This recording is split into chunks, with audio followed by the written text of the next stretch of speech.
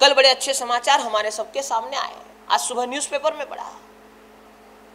महाराष्ट्र सरकार में माननीय मुख्यमंत्री श्री एकनाथ जी शिंदे, उन्होंने कल यह घोषित किया कि गाय को, गौ माता को राज्य माता का दर्जा दिया गया। उन्होंने घोषित किया कि अब ये गौ नहीं, गौ माता नहीं कही जाएगी, ये राज्य माता कही जाएगी। यह हमारी परंपरा है।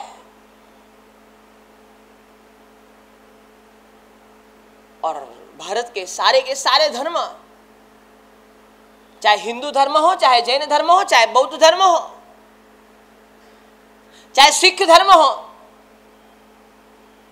यह देश से निकले हुए सारे के सारे धर्म गौ माता को पूजनीय और वंदनीय मानते हैं।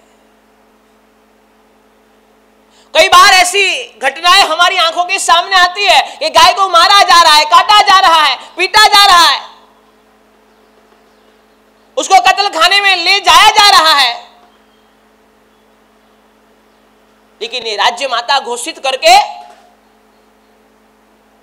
एक बहुत अच्छा कदम महाराष्ट्र सरकार ने उठाया है। और पूरे जैन समाज की ओर से माननीय मुख्यमंत्री श्री एकनाथ जी शिंदे को जितने धन्यवाद दे, उतने कम है। ऐसा विचार आना, ऐसे भाव भीतर में जगने, जब तक भीतर में जीव दया का यह भाव न हो, तब तक ऐसे कार्य करने का आदमी को ख्याल तक नहीं आता, ऐसे कार्य करने का आदमी को विचार तक नहीं आता। लेकिन यह संस्कृति, यह भारत की संस्कृति, वसुधैव कुटुंबकम यह संसार का एक एक प्राणी। परमात्मा महावीर ने यही तो कहा कि अहिंसा परमो धर्म। अहिंसा के मार्ग पर चले बिना, अहिंसा का मार्ग स्वीकारे बिना, यह संसार में किसी का कल्याण नहीं होना है। और वह मुख्यमंत्री जी को हम बधाई, धन्यवाद देते हैं कि आपके भीतर में यह जीव दया का भाव जगा। आनंद है। कि महाराष्ट्र सरकार ने गौ माता को राज्य माता के तौर पर घोषित किया।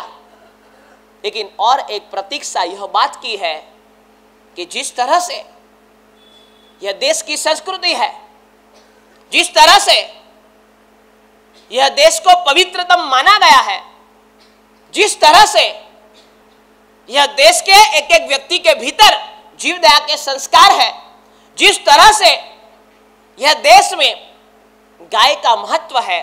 गौ माता की महत्वता दिखाई गई है। बड़े पुरखों ने हमें समझाया है।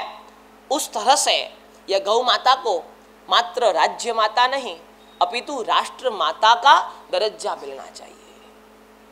माननीय मुख्यमंत्री श्री ने तो घोषित कर दिया, लेकिन हमें प्रतीक्षा यह बात की है कि एक दिन सोने का सूरज ऐसा उगे और माननीय प्रधानमंत्री श्री नरेंद्र भाई मोदी यह घोषित करे कि गौ माता को राष्ट्र माता घोषित किया जाता है।